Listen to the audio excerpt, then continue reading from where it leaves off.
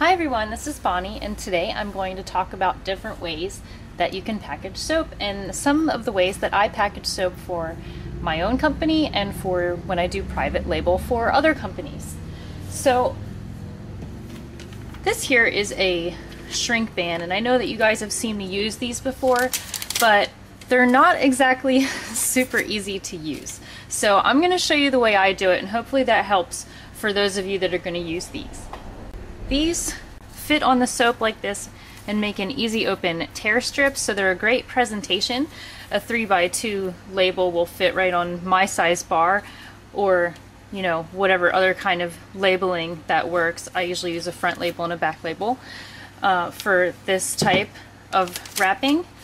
And the reason why they're not exactly easy to use is because when you shrink them, the tear strip wants to cut open and when that happens then you get a wasted a wasted one. So every once in a while I do bust through the seams but I'm going to show you the way I do it where I've had the best success. So how I do this is I heat the end first and by the end I mean either this end or this end. But remember that the zipper side is staying pointed up upwards. So I heat this part so that it catches on the bar and then I turn it around and I heat the other side so that it tightens up on this side of the bar. And then I'm gonna do the zipper top over here gently, very gently, and then over here gently. And then I'm going to turn it over and the back is not as sensitive and I'll be able to get that. But just go very slow and gently when you're working around the zipper. And the zipper will be much less likely to bust if you can catch the ends on the end of the bar. So that's the way that it seems to work best with me. I still sometimes mess them up, but that's what works best for me. And I'll show you that real quick.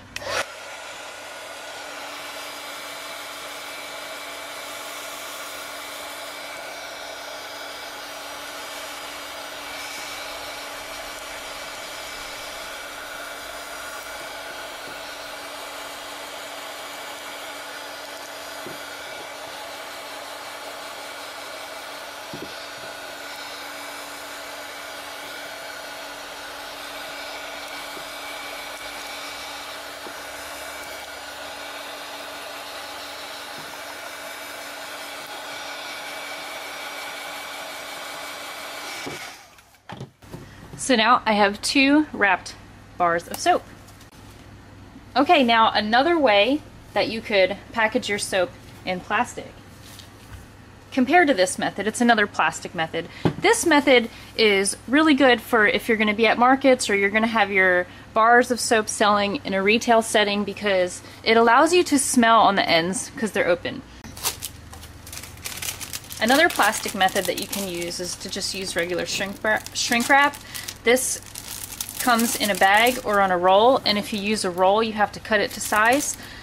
They also have biodegradable types on a roll. I haven't seen biodegradable in a bag yet, but you know, at the time that you are viewing this video, it might be a year later, there might be a supplier, so um, I, I try to update the information under the videos so that there's up-to-date links and suppliers and then when someone notifies me that something is you know not there anymore or whatever else uh, I try to update that. So check under the video for supply informations for the stuff that you're gonna see here. So this shrink wrap bag comes with a little hole punched in it and if your type of shrink wrap that you have doesn't, you would want to poke a hole in because that allows the air to escape. So with this kind of shrink wrap bag, you would take your soap.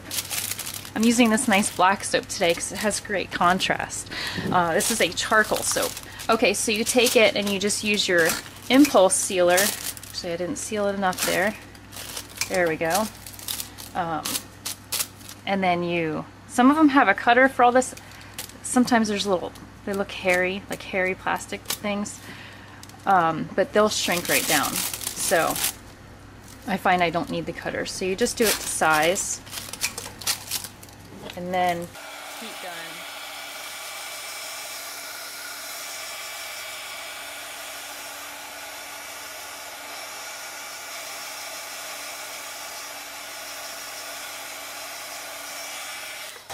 shrink it all the way down. This makes a great presentable bar. It's a little harder to smell through, but you can still smell the soap a little bit.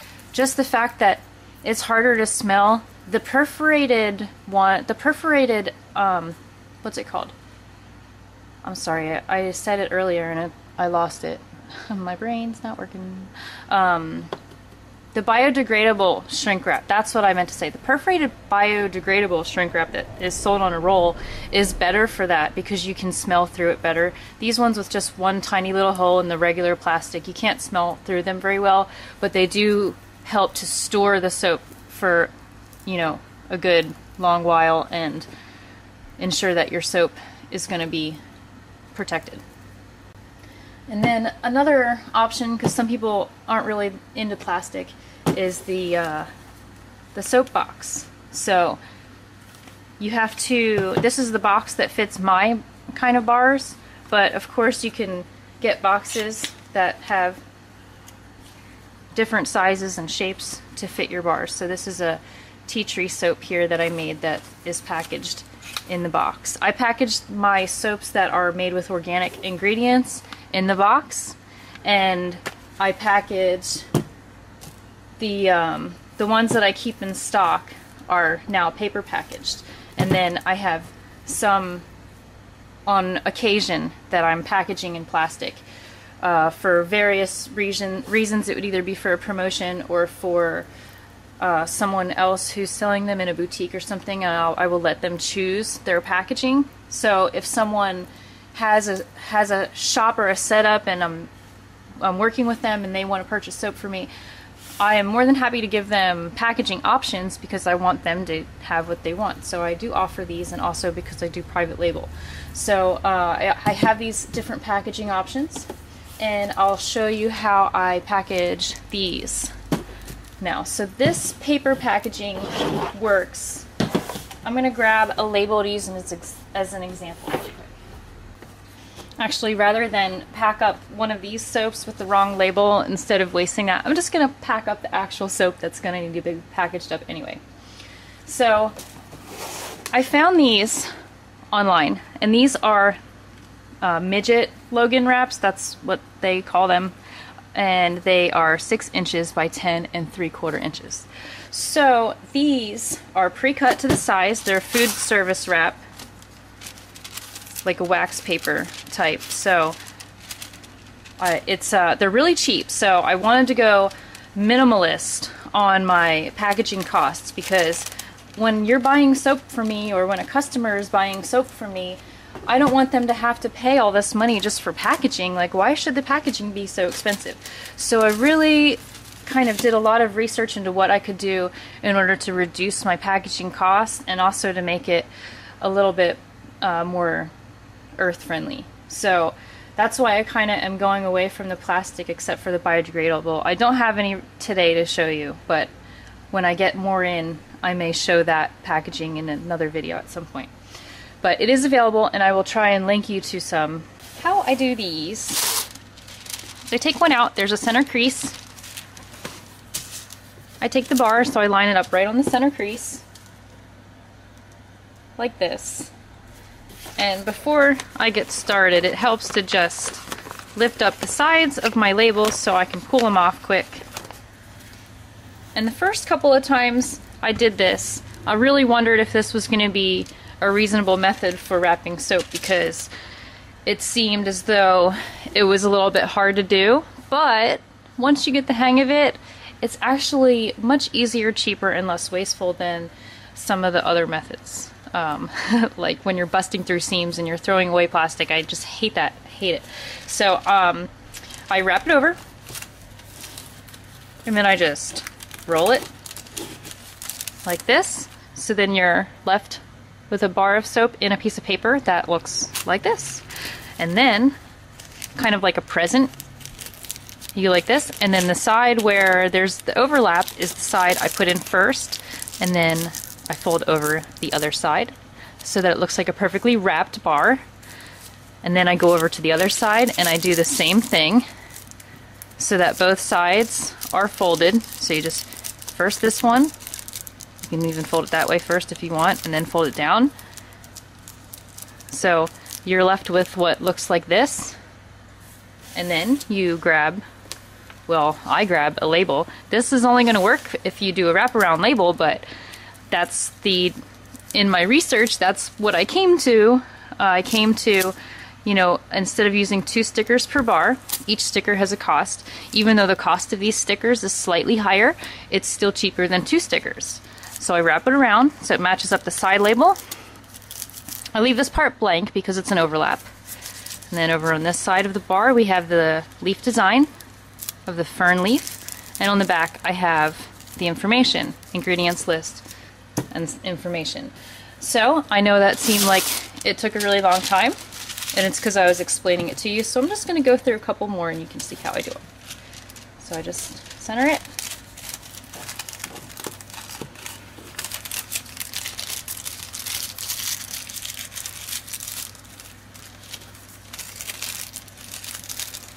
Let's see, making sure I'm doing it into the camera.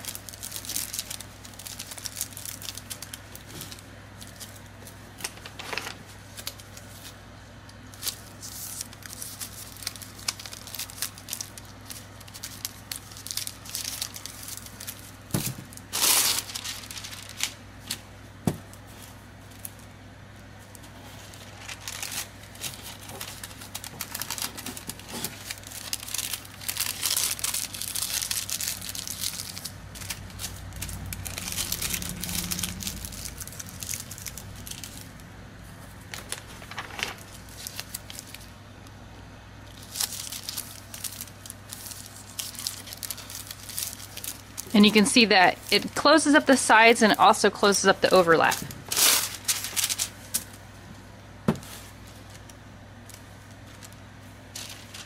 And sometimes also what I do is I peel these off first. It really depends on how many I'm doing at a time. If I'm only doing one or two, then I'll just lift the corner.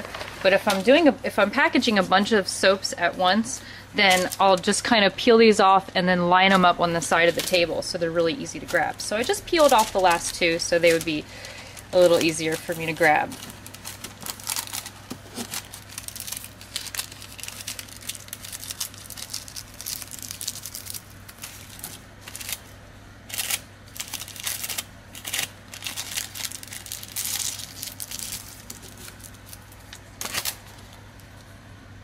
This is also a great wrapping method if you don't have an impulse sealer or shrink wrap gun or heat gun.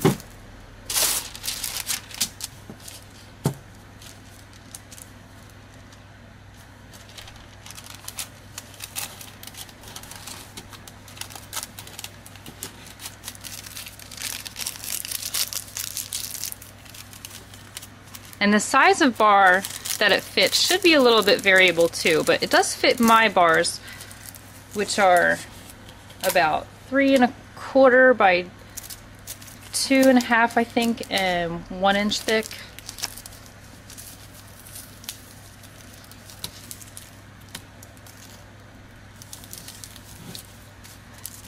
So there we go. And since I use these long labels,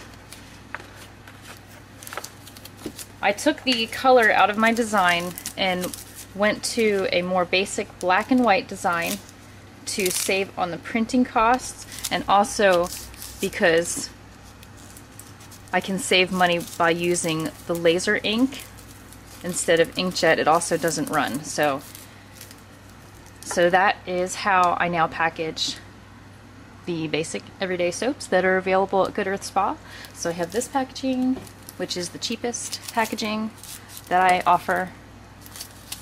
And then you have, there's two different ways to package the plastic ones. Additionally, you could use the biodegradable film. And then, of course, you can pack it in boxes. Boxes come in all different colors and you can even get custom print ones done. So there's all different kinds of ways that you can package your soap at home. I hope you learned something from this video, or at least had fun hanging out with me. Thanks for watching. Bye-bye.